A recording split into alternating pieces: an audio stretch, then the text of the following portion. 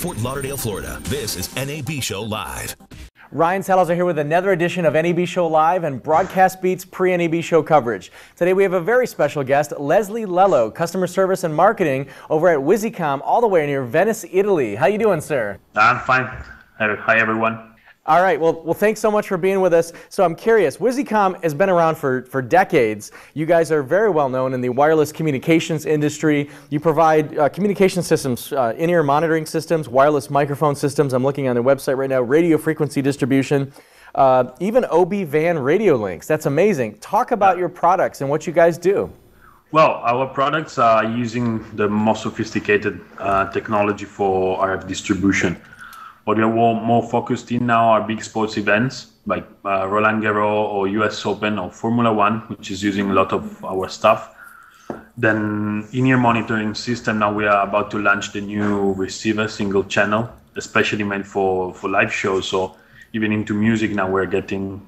I mean, we hope to get stronger. And then in RF distribution, thanks to the to the fiber system, fiber optical system distribution which is which allow to cover uh, kilometers of, uh, of, areas, huge areas with a with a not a not a big loss like uh, the coax cable would give. And, and then a lot of documentaries, film, and location sound and ENG, which has been, we were well known in Europe. I mean, we are like the standard in many many countries, but in like in US, it's we've been in the market since just few years. So that's a a goal for us to move there and to, to start promoting us as much as possible. Hey, so uh, so Leslie, I, am looking on your website. I see you have wireless. you call it, you guys call it reportage systems. I assume that's in the U.S. We would call that reporting systems. Um, the, the, the gear, the hardware that you guys make is looks like it's built very very well, very sturdy. To you know, kind of meant to be like in an ENG type environment or on a truck. It's just very rugged. Uh, talk about your wireless reporting system. Well, the idea was to give to the customer something really solid. I mean, on the on the RF side, we're really strong. We have a huge bandwidth. It's like 232 megahertz, so which is the probably the biggest you find now on the market. So we wanted also to give something which is strong even on the hardware side, not just the reliability in terms of that. And and what we did actually, the idea was to to create some kind of little tanks, little tanks.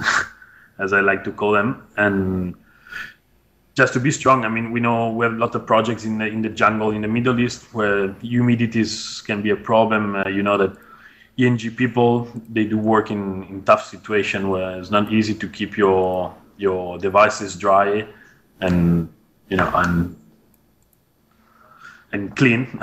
And so that yeah it was something really important. We were really focused on on producing on building stuff which is solid and can last during the years. And Leslie, if you could talk about your radio frequency distribution units, and I'm not referring to the wireless microphone units. I see that you've got a radio um, frequency distribution unit, and it's a it's a rack mount, it's a 1U rack mount. Could you talk about that? Yeah, we've got many devices which are working in which are rack mount actually, from the receiver like dual channel, all working wideband, so from 470 up to 800 megahertz and also of course transmitted dual channels that really powerful. I mean, they, they reach up to two watts.